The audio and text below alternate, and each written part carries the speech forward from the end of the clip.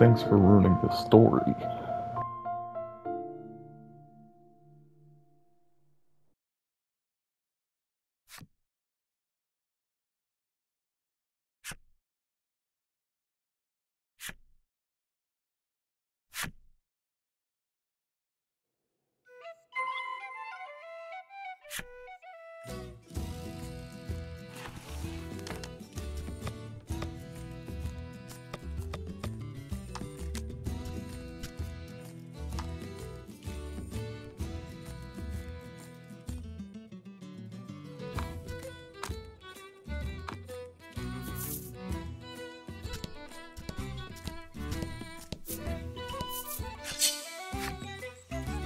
Let's go around here.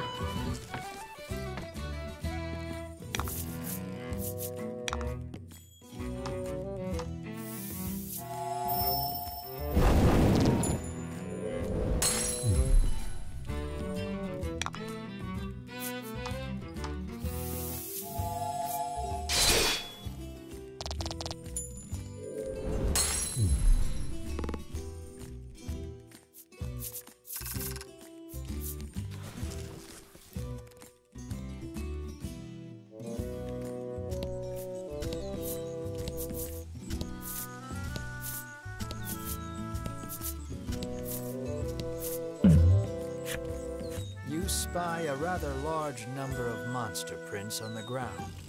A wry smile plays if you pull from your pack the scrap of paper you picked up. You feel around in the grass for a few moments. Before your hand, the scrap of paper tells no lies. You greedily Free money, baby!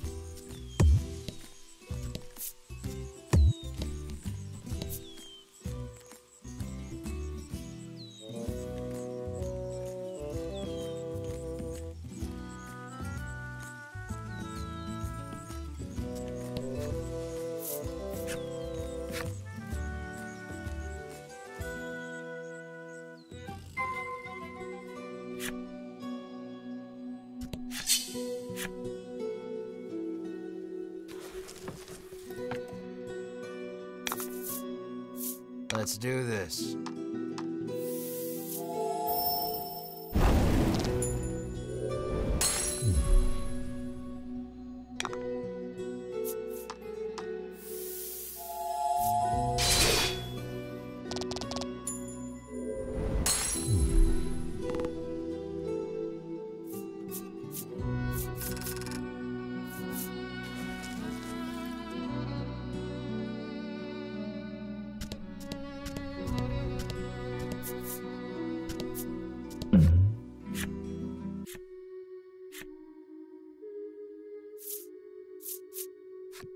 Take a peek inside the grass and immediately find it seems like the harpy hasn't yet noticed you.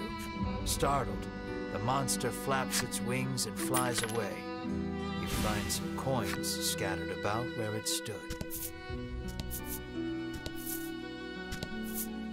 A message is written on the sign. Seek out the four Stela hidden deep in these woods.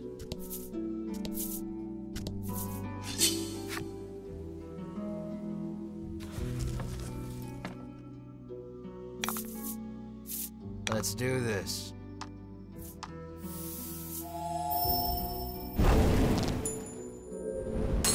Barely took that out.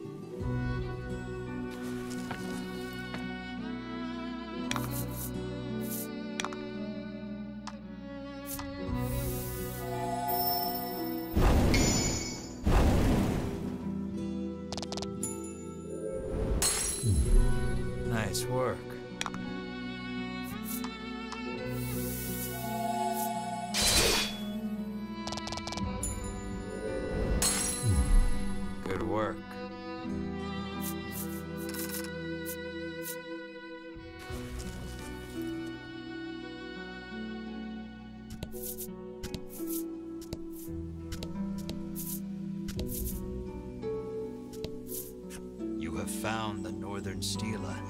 It doesn't look particularly special. You resolve to touch it anyhow.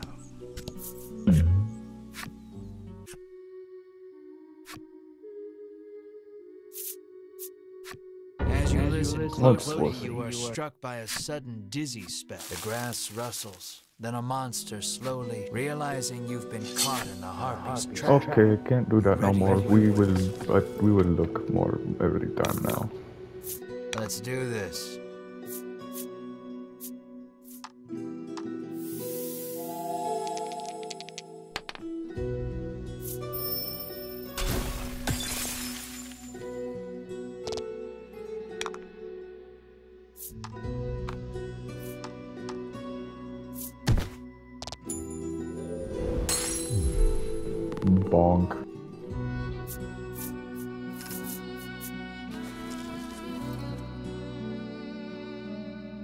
For some time after that, you'll find yourself trembling at the mere sound of a bird's tweet.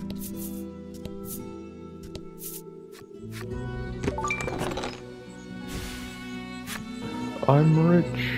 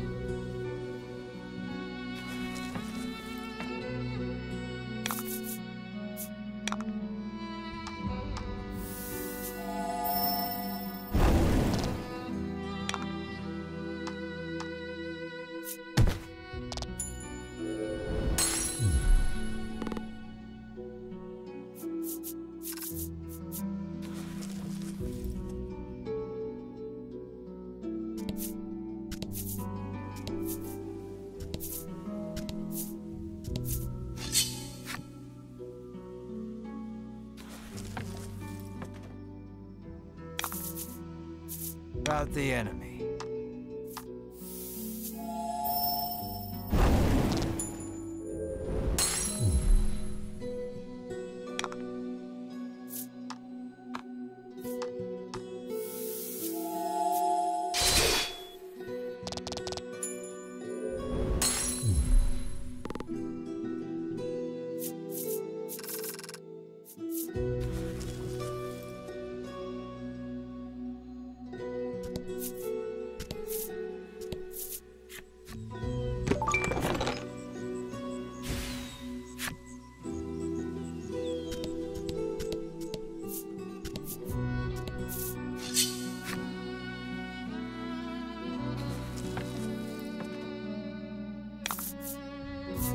hold back.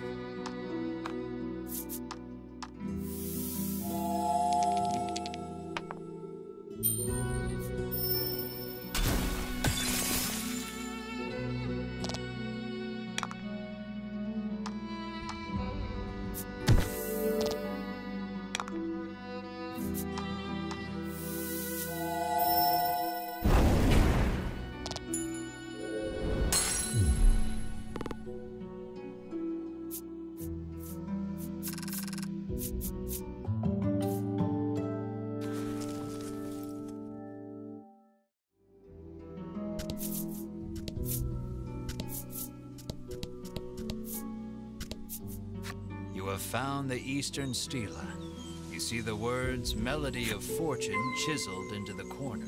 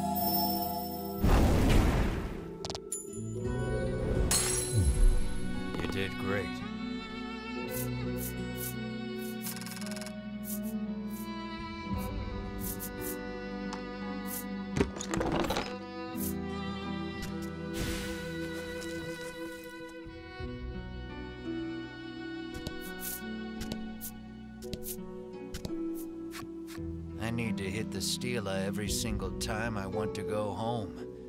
Ah, what a pain, the frowning woman sighs.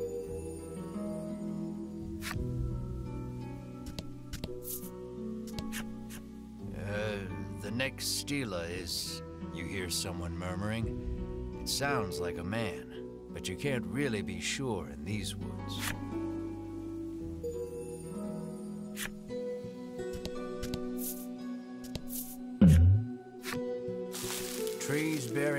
Bearing very solid looking nuts whipped to and fro in the force of the gale. This doesn't bode well for you. The worst number. Nuts fly off the trees and smack you and your friends right on the head. Everyone's faces screw up in agony.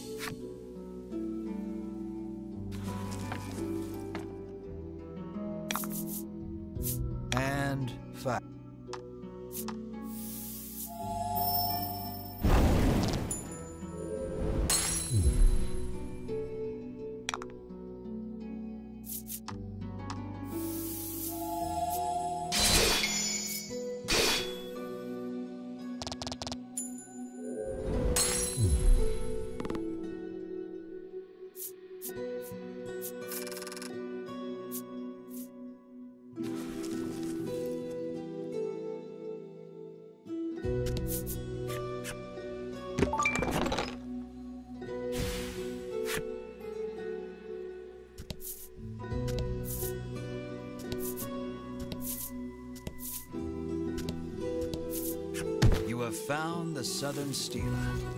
You smack it and hear a sound off to the west. You'd best head that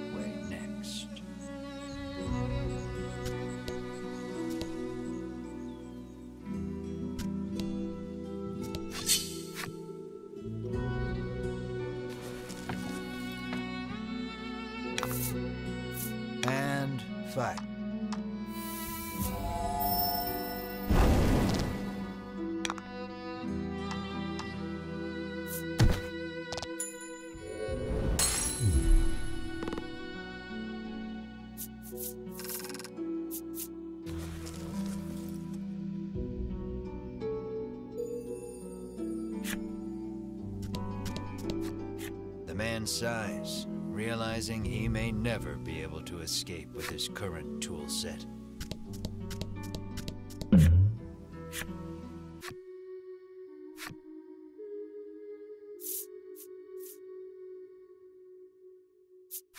Your body is soothed by the gentle tone. It feels as though your fatigue has somehow washed away.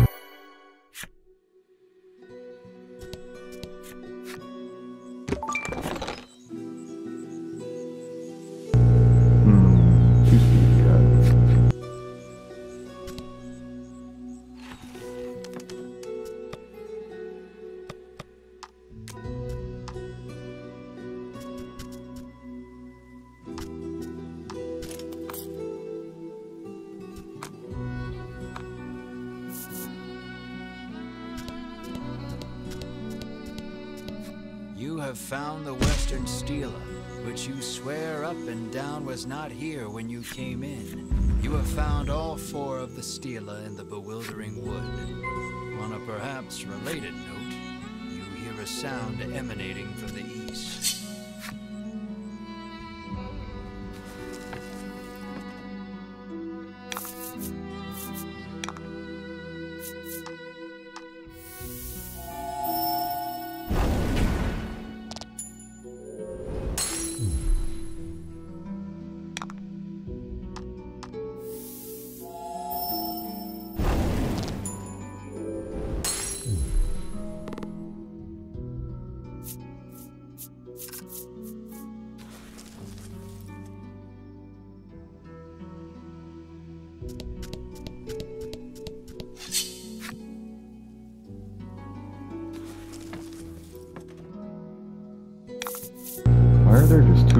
Desert tiles?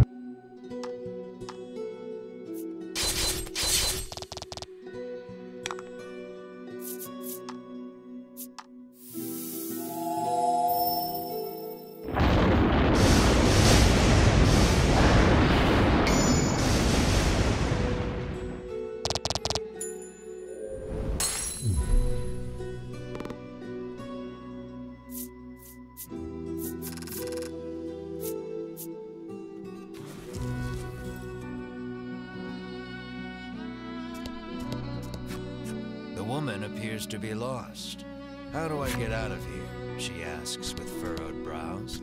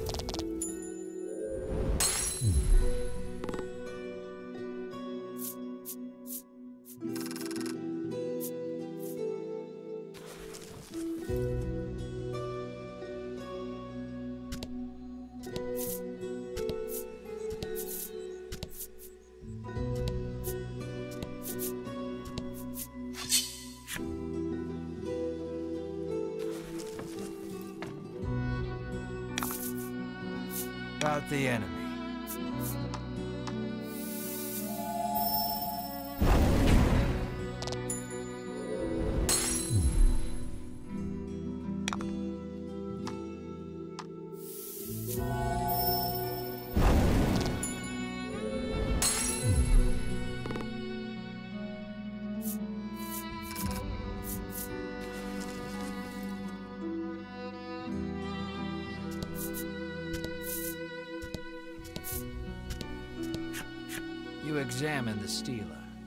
Mess you hold the woodland flute you received from the good doctor in Thryston. Doot doot doot doodly doot doot doot doo. You blow a handful of pleasant enough notes into the woodland flute. You soon become aware of accompanying percussion, which reveals itself to be a series of impeccably timed footfalls racing toward you. A young woman appears before you. That was absolutely dreadful, she whinges, her jaunty gait betraying her enjoyment. She calls herself Riddis and declares herself a woodlander, resident of the bewildering wood. By sheer coincidence, the flute on which you played those notes was one designed to call the woodland people to your side. Stunned by your good fortune, you ask Riddis to lead you eastward out of the forest. What luck! She agrees far more readily than you ever anticipated. But, she continues, extending her hand, you'll have to hand over the woodland flute first. You hand over Fine. Firmly that she may have it on the condition she leads you out of the bewildering wood. Riddis plucks the woodland flute out of your hands with glee and begins playing it as she skips away. Riddis makes it clear that the fastest way out of the woods is through woodland, where she lives. It's that a way, Riddis says gleefully, pointing past the stela before you.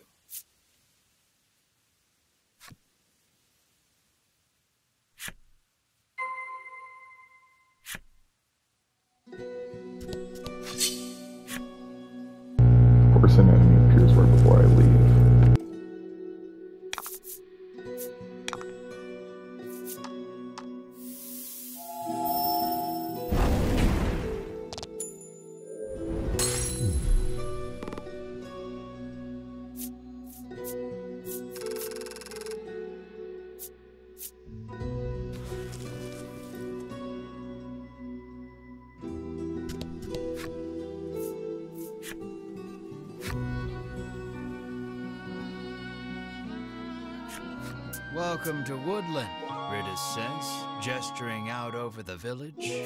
Now, if you'll excuse me, I'm quite busy for the rest of the day. So you'll have to wait till tomorrow to leave the forest, she says, and makes her way home.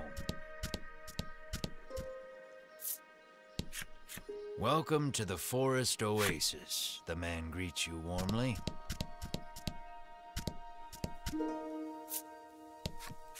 You happen upon a man greedily guzzling well water. Could it truly be that much better than ordinary water?